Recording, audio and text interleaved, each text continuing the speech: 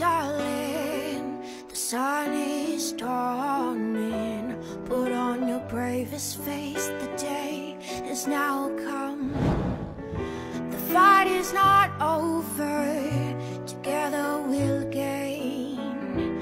Forever we stand up, cause we are all the same.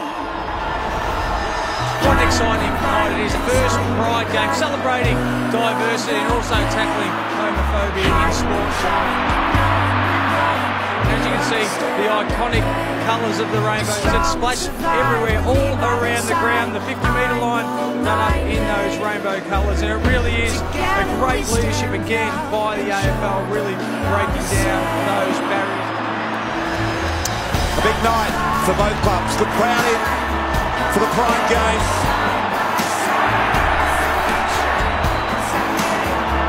Jason Ball in there tossing the coin, of course, uh, but and this game, largely the Pride game, has been built around him and what he stands for